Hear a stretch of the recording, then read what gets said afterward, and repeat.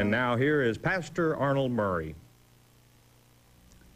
Good day to you. God bless you. Say, welcome to the Shepherd's Chapel. Welcome to this family Bible study hour. We're ready to get back into our Father's Word, the book of Kings. First Kings, chapter 21. We're going to pick it up with verse 20 here in a moment.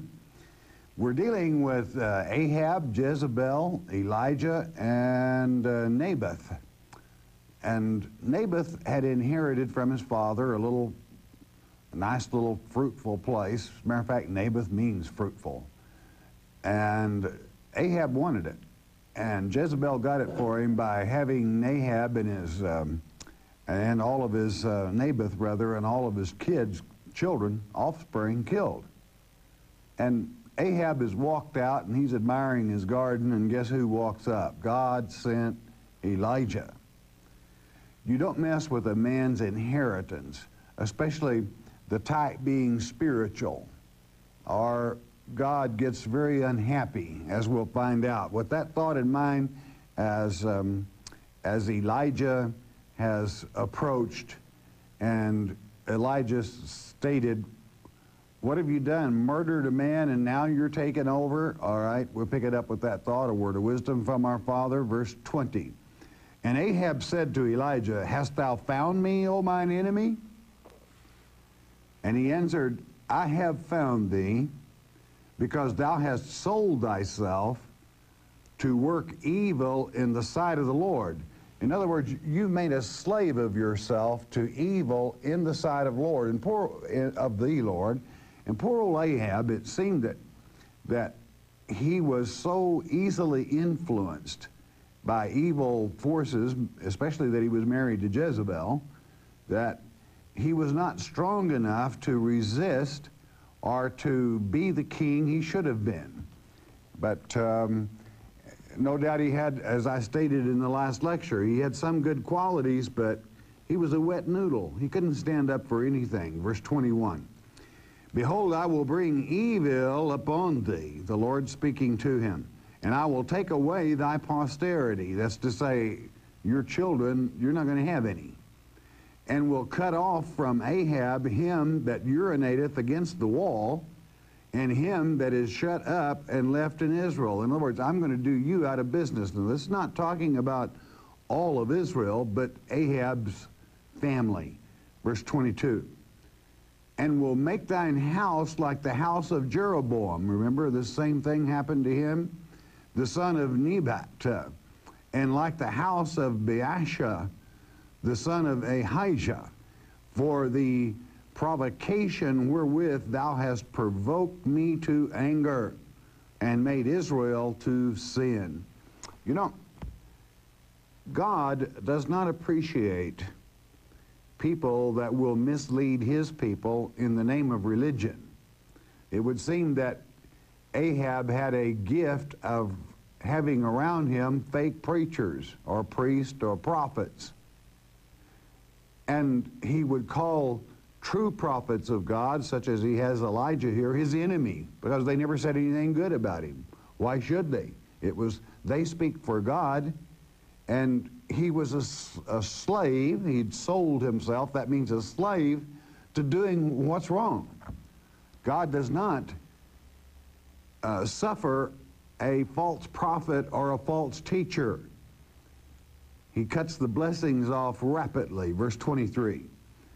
And of Jezebel also spake the Lord, saying, The dogs, this, this was God's sentence upon Jezebel, the dogs shall eat Jezebel by the wall of Jezreel. That to not have a decent burial was insult of insults. And it shows Jezebel coming to that state, simply killed, thrown in the ditch, and which this is what that's the base word for wall here is ditch in the Hebrew, and the dogs eating her. 24. Him that dieth of Ahab in the city, the dogs shall eat. That's your children. And him that dieth in the field shall the fowls of the air eat. In other words, none of Ahab's children would have a decent burial either. And that went for Ahab also. Verse 25. But there was none like unto Ahab, which did sell himself, in other words, made a slave of himself, to work wickedness in the sight of the Lord, whom Jezebel his wife stirred up. She incited him. He would do anything to just get along. And I, I keep stressing that because that's exactly the point the Father wants you to understand that just getting along and pleasing men, rather than standing for the truth and God's Word, or being a king of God's children as he was supposed to, he'd just rather slip along and get by best he could. And Jezebel certainly was one to take advantage of that. Verse 26. And he did very abominably in following idols, according to all things as did the Amorites, whom the Lord cast out before the children of Israel. He, what it's saying here is he was just as bad as the heathen himself. And he was king of Israel. He was just as bad as the Babylonians. Verse 27.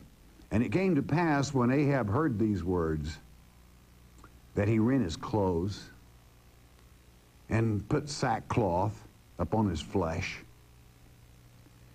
and fasted and lay in sackcloth and went softly. That means he really humbled himself, talking to himself, and and uh, feeling very sorry from within that he had done these things. Now that shows you inside he had some good qualities. I mean, this will even impress God, all right, that he actually humbles himself before God in this manner. He really feels bad, genuinely feels bad, that he has let the Father down. Now, however many traits, but this is what a wet noodle will get for you, or this is what listening to men rather than God's Word. God, you know, you can be as religious as you want to. But if it's man's religion, as, as these priests and prophets were that served uh, Ahab and Jezebel, um, God, that, that's almost a greater insult to our Father than just being a heathen. All right? He doesn't like people that mislead his children. All right, verse 28. And the word of the Lord came to Elijah the Tishbite, saying, I mean, this is what God said about his having humbled himself and repented. 29, Seest thou how Ahab humbleth himself before me? You see that, Elijah? Because he humbleth himself before me, I will not bring the evil in his days, but in his son's days will I bring the evil upon his house. In other words, when he repented and when he really humbled himself before God, God repented himself and he said, I will wait and destroy his children after he's gone because that would be exceedingly painful. But you know Ahab, how long does a wet noodle stay on course, you know? A wet noodle goes, seeks the least resistance. I mean, it's their nature to listen to man. If uh, example in this generation, if somebody says, "Yes, there's going to be a rapture," now, well, show show me the word rapture in the Word of God. You know, God is not; He does not appreciate people adding or taking away from His Word, especially if they make a religion out of it to deceive people. You see, in other words, what is my point? Stick to God's Word. Humble yourself before God and those of mankind that will allow you to. All right? Think about that. Humble yourself before God and those men that will allow you to. Some people you cannot humble yourself before because they don't understand an humble person. They take it as weakness. That's when you must be bold and sharp. Because an humble person before God is not, is not a wet noodle that will listen to, to men without checking them out in the Word of God. That goes for this man or any other man. So let's see how long he stays that way. Chapter 22, verse 1, let's go with it. And they continued three years without war between Syria and Israel. Boy, hey, that's pretty, going pretty good. This is when the vineyard thing took place, is while they were not at war, and after God himself had given uh, the Syrians into his hand, uh, peace follows. Verse 2. And it came to pass in the third year that Jehoshaphat, the king of Judah, now bear, bear in mind your houses, you've got the house of Israel now and the house of Judah. The king of Judah came down to the king of Israel. Well, I would say came up, but be that as it may, uh, it doesn't uh, matter. And, uh, they had they had an alliance. They were getting along fine. As a matter of fact, uh, if my memory doesn't fail me, uh, Jehoshaphat's son married Ahab's daughter, so they had a covenant by marriage as well. Verse 3 And the king of Israel said unto his servants, Know ye that Ramoth in Gilead is ours, and we be still? In other words, we're at peace about it, and take it not out of the hand of the king of Syria.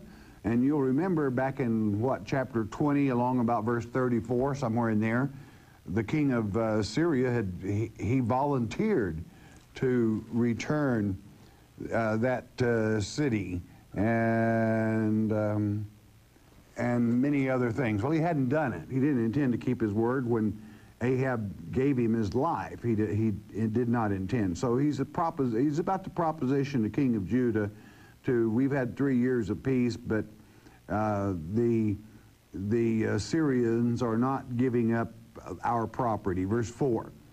And he said to Jehoshaphat, Wilt thou go with me to battle in Ramoth Gilead? And this is Mount of the Rocky region, all right, fully translated. And Jehoshaphat said to the king of Israel, I am as thou art, my people as thy people, and my horses as thy horses. In other words, Whatever's mine is, is yours, and whatever yours is mine as far as this battle's concerned. If you call on us, we will be there. We will be there. Verse 5. And Jehoshaphat said unto the king of Israel, Watch this. Now, this is the difference between men. I mean, Ahab's got all he wanted. If he's got Judah helping him, hey, that's good enough. Hey, let's get it on. But the king of Judah, listen to this. And Jehoshaphat said unto the king of Israel, Inquire, I pray thee, at the word of the Lord today. See? You go to the Father, you go to a prophet and inquire if God wants us to do this before we jump off out here and do it. Now, that's the mark of a king. But you can even want to be religious, as Jehoshaphat did, and yet you still must be very careful. And really, that's the lesson we're going to learn is, uh, and you're going to learn a great deal about God's emotions and his feelings, both joy and anger, from this very deal, from this very thing. Okay, now bear in mind, he asked, is there a prophet around here we can go to where we can pray and find out what God thinks about this? Verse 6. Then the king of Israel gathered the prophets together, about 400 men. Whoa, we got prophets, right? And said unto them, Shall I go against Ramoth Gilead to battle? Or shall I forbear? Question. And they said, the prophet said, Go up, for the Lord shall deliver it into the hand of the king. Now watch closely. These were prophets that really got their orders from a calf. They weren't the prophets that had approached Elijah before, but the, and they called themselves men of God, even even called themselves as serving Yahweh. But how did the calf get involved? You got it? I'm doing your thinking for you. That's the way you question yourself. But what is what is this extra stuff we've got going on in this camp of so-called uh, prophets here. What, what, what, are they using a calf? That would remind you of Jeroboam. Uh, um, and uh, his building the golden calves for the people to worship rather than going to Jerusalem, Judah's headquarters. All right, you see my point? Now, uh, next verse, all right? And verse 7 reads, And Jehoshaphat said, Is, I mean, he looks this bunch over, and he's thinking right, because watch his reply. And Jehoshaphat said, Is there not a prophet of the Lord besides that we might inquire of him? In other words, um, he knows these prophets are fakes. He knows their religion is false, even though they claim to be servants of Yahweh, the living God. It's obvious to someone that is trained in the Word of God to tell a fake when he sees one, and probably they thought in their own right, oh, you can rest assured. I mean, they were holy men, holy to a calf. I'm telling you, my friend, you'd better be careful in this last generation. You'd better humble yourself before God, as I stated, and He has written you a letter. He has given you these historical things as types to check your life out by today. And you'd better pay attention because we're in that time that um, God is going to disappoint a lot of people because if they're not in the Word of God, and if they followed some fictitious, great, super bunch of preachers because of denominationalism or something else, they're in trouble. Uh, it doesn't matter what you call yourself, priest, prophet, or whatever, bishop, if you like. And I'm not picking on any particular religion. I'm saying if it doesn't come from the Word of God, you've got trouble. For there is only one God and there is only one letter and it was written to you. And if you haven't taken the time to read it with understanding, then I'm sorry for you, friend. You're in trouble. Verse 8. And the king of Israel said unto Jehoshaphat, There is yet one man, Micaiah or Micah, the son of Imlah, by whom we may inquire of the Lord, but I hate him for he doth not prophesy good concerning me, but evil. And Jehoshaphat, the king of Judah, said, Let not the king say so. Don't talk like that. I mean, here we're about to go to war, and you're talking about a prophet saying you hate him. And Jehoshaphat dresses him down. Um, it takes more than just dressing someone down. I will guarantee you that in this generation, in this this is only a type, but in this modern generation, if you teach God's word chapter by chapter and line by line, you're not going to be a popular individual, not with the religious community, because um, it doesn't matter what men think. I'm going to teach my Father's word as it is written because I would lot rather be unpopular with men than I would be unpopular with my father. Because it is from my father, not men, that blessings flow. Knowledge, wisdom, gifts, um, gifts of teaching and so forth. And as long as you toe the mark, God will always bless you. You can count on that. Men, hey, let the chips fall where they may. Now, Micah, you'll remember, is, uh, and it's one of the reasons Josephus thinks he was the unknown prophet we spoke of before that told Ahab, hey, better be careful, you know, and, and went against him.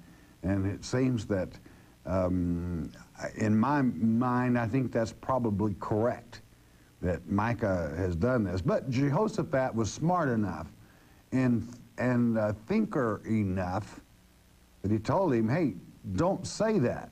Don't say you hate a man of God. Uh, verse 9, Then the king of Israel called the officer, an officer, and said, Hasten hither Micaiah, Micah, the son of, of uh, Imlah.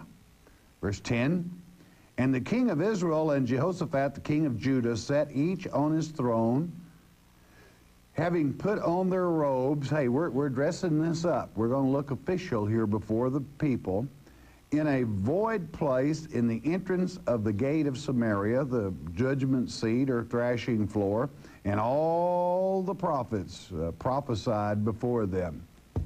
We got 400 fakes out there. I mean, it's a, like an old town camp meeting revival. We got more opinions floating around, and people saying God said this and God said that, and God told me to tell you that you're a jerk, and no, you're a jerk, and God told me to tell you that He'll translate this for you so you'll understand that really you're the one that's a jerk. You know, all kinds of little messages from God by this bunch of nim nimcompoops here, whatever that may mean. But uh, you know, you don't have to go very far today. Turn on your television and listen. You know, God told me where to park my car today. Now, surely you know our Father better than that. If a man hadn't got enough sense to know where to park his car, God's sure not going to take time to talk to him. All right? Sure talked to God today. Oh, well, great. That's good. You know, I, I mean, when you got people like that around you, what can you say? And God does speak to people. I don't want to. I, I just have a lot of fun, all right? I mean, I enjoy this generation, believe it or not. It's, we have some very, you do not need, I no longer read the comic strips. I don't have to. All I have to do is turn my television on, and I don't do that very often. I don't have time. But, I mean, who could ask for more? Uh, and, a, and a better bunch of comedians. Fantastic, all right? But hey, we got a real revival. I mean, we got a fellowship of preachers, prophets going on here and they're all talking at once, prophesying, just laying it on the kings. I mean, impress the high dude, you know? 11. And Zedekiah, Zedekiah being the justice of Yah, the son of, now I want you to listen real carefully to, to this pronunciation. The son of Chenaanah. Sounds a lot like Kenite, doesn't it? Probably he was, but he was passing himself off with this name to be a son of Canaan, the um, Ham's child by his mother, all right, made him horns of iron and said, and he said, um, this, uh, th this is, um, he made them, this was buffalo horns, all right? I mean, boy, fighters, tigers they were, all right? Thus saith the Lord, with, um, with these, these horns, this prophet's time, with these, um, thou, with these thou shalt push the Syrians until thou have consumed them. That's what this fake is saying. I mean, you know, I mean, now bear in mind, that would be a very religious sight because that's kind of the way the horns signify power. Uh, Moses had done something similar. You know, I mean, hey, you know, that, that's impressive. Got 400 of them, super preachers. And we got this one, verse 12. And all the prophets prophesied so saying, Go up to Ramoth Gilead and prosper. For the king, for the Lord shall deliver it into the king's hand. Now, this is one of those cases where our Father would say, hey, you know something about those fakes, super preachers? They will say I said a certain thing, and I haven't said a thing to them. But they can sure put on a good show, all right? They can sure convince people that I'm in their midst, all right? Verse 13. And the messenger that was gone to call Micah, I'm going to call him, spake unto him, saying, Now listen, this is the messenger that was sent. Do You think he didn't have his ear full and loaded for deception when he left to get Micah? Listen to this. He spake unto him, saying, Behold now, the words of the prophets declare good unto the king with one mouth 400 of them all saying the same thing. Let thy word, I pray thee, be like the word of one of them, and speak that which is good. I mean, hey, we've got 400, and the majority is always right. Micah, you go ahead and repeat what they're saying, and you won't be an oddball hanging off out here too much by yourself. Reminds me of the, again, of the rapture doctrine. Well, everybody teaches it practically. It must be so. There's just one problem. It isn't. Oh, but don't worry. It's going to be good. You're going to be just and it, and the the real comedy is the pictures of cars and trucks. I mean, crossing freeways and and here are these um, hummingbirds or butterflies are flitting out of here, you know, and and uh, it's not biblical. Nowhere is it written in God's Word, unless you want to, to, to jockey the subject and object that the Greek is so final about. You better be careful, my friend, what you listen to in this generation. Everything's going to be fine. We have the victory. And we're going to defeat the spurious Messiah and the fake Jesus and all the fake uh, religious men.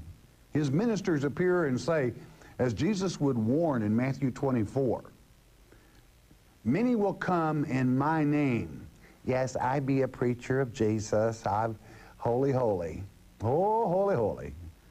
Amen, amen. Oh, are you? Well, do you teach his word chapter by chapter and verse by verse, or are you a one verse rev? Get all revved up over one verse and change the subject off to something that is not written in God's word. I don't know. Hey, it's up to you, friend. This is a type, and you're in the generation of the fig tree. I would say sharpen up. And as you can tell, I'm out. We're we're winning friends and influencing people today. You know, it's. But what's happening here is the religious community is trying to pressure a prophet of God to lie or to listen to them rather than who. Now, this is important to listen to them rather than God. Okay, verse 14. And Micaiah said, As the Lord liveth, what the Lord saith unto me, that will I speak. It doesn't matter what this bunch of yahoos teaches or says. I will teach what the Lord tells me to. That's what he's saying. 15. So he came to the king, and the king said unto him, Micaiah, Micah, shall we go against Ramoth Gilead to battle, or shall we forbear? Now you're going to have to pick this up in my voice in the Hebrew because it's here, and uh, it would really throw you in the English, but I've got to say it in the same tone that is emphasized in the manuscripts. He asked him, Shall we go or shall we forbear? And he answered him, Go. Go and prosper, for the Lord shall deliver it into the hand of the king. He said it with irony, mocking the prophets all at the same time. You got to get the whole picture. In other words, he was strictly saying, if you want to kill yourself, go ahead, dude. You know, you're not hearing what God is saying. Okay, verse 16. And the king said unto him, How many times shall I adjure thee that thou tell me nothing but that which is true in the name of the Lord? In other words, Ahab knew he was, he was putting him on. All right? Verse 17. And he said, This is what God said I saw all Israel scattered upon the hills as a sheep that hath no shepherd. That means, Ahab, you're going to be killed. You're going to be dead, dude. And the Lord said, These have no master. Let them return every man to his house in peace. In other words, God is stating that the king is going to die on that field of battle, and the people are going to come back and find peace. But Ahab, Ahab is not going to make it back. Verse 18. And the king of Israel said unto Jehoshaphat, Did I not tell thee that he would prophesy no good concerning me, but evil? Now, here's where this is what really separates the men or the true listeners from those that will accept whatever in the heat of the moment. How sharp are you? I have taught, and maybe I could take the blame for not being quite as good a teacher as I should be, but I want to see how sharp you are. I'm going to just read ahead a verse or two here, 19. And he said, Hear thou therefore the word of the Lord. I saw the Lord sitting on his throne. This is, uh, this is um, Micah again, and all the host of heaven standing by him on his right hand and on his left, 20. And the Lord said, Who shall persuade Ahab what, uh, that he may go up and fall at Ramoth Gilead? And one said on this manner, and another said on that manner. I mean, right there in heaven, they were deciding how can we get rid of this wet noodle? And this is the Father and, and the host. 21. And there came forth a Spirit and stood before the Lord and said, I will persuade him. 22. And the Lord said unto him, Wherewith? How? And he said, I will go forth and I will be a lying spirit in the mouth of all his prophets. And he said, Thou shalt persuade him and prevail also. Go forth and do so. Now, Micah has laid it straight out to Ahab and Jehoshaphat. I repeat, I want to repeat that it's important. He reported this to both Ahab and Jehoshaphat. Verse 23. Now therefore, behold, the Lord hath put a lying spirit in the mouth of all these thy prophets, these super preachers. And the Lord has spoken evil concerning thee. Now listen, my friend, if you want to hear lies, God will allow you to, because he expects more from you than to listen to untruths. He expects you to be able to think for yourself because he has sent you types, and that that has been is now, and that that has been around will come around again. That's types in history, and you're supposed to pick up from it. Verse 24. But Zedekiah, the son of Chenaanah, this little, little merchant's what it means in the Hebrew, so you should be able to put it together. It's a Kenite. Went near and smote Micah on the cheek and said, Which way went the Spirit of the Lord from me to speak unto thee? Uh, or how did he do it? And you'll have some of that too. Verse 25. And Micah said, Behold, thou shalt see in that day when thou shalt go into, the, into an inner chamber to hide thyself, Little prophet, when you're trying to run from one chamber to the other to hide yourself from the wrath of God, you'll know who sent it. Verse 26, And the king of Israel said, Take Micah and carry him back unto Amon, the governor of the city, and to Joash, the king's son, 27, and say, Thus saith the king, Put this fellow in the prison, and feed him with bread and affliction, and with water of affliction until I come in peace.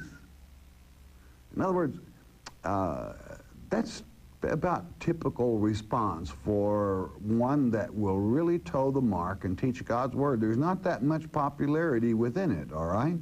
Wasn't then and is not much better off today. Verse 28, And Micah said, If thou return at all in peace, the Lord hath not spoken by me, and he said, Hearken, O people, every one of you. In other words, if Ahab comes back from this battle, then I'm the fake, and these dudes are your prophets. All right? And he said it to all the people, You hearken and you listen unto me. Now, that's a, that's a hard place to have to stop a lecture, but we're out of time. So we'll hold that till tomorrow. But I want you, I want to do want to give you a home assignment the king of Judah and the king of uh, Israel here, you would have given the king of Judah a little more credit than what he deserves because you're going to see that even with the word of God having been spoken that he sought for, and this is the deeper message that I want you to get from it, he went anyway and just about paid with his life. Don't go along for a ride when you know God is not in it. That's the message. We'll, we'll, and we'll pick up on it in the next lecture. Fantastic. how good our Father is to us. That He gives us warnings as to how easily people can be deceived when they're being so religious. Think about it. All right, bless your hearts. You listen a moment, won't you please?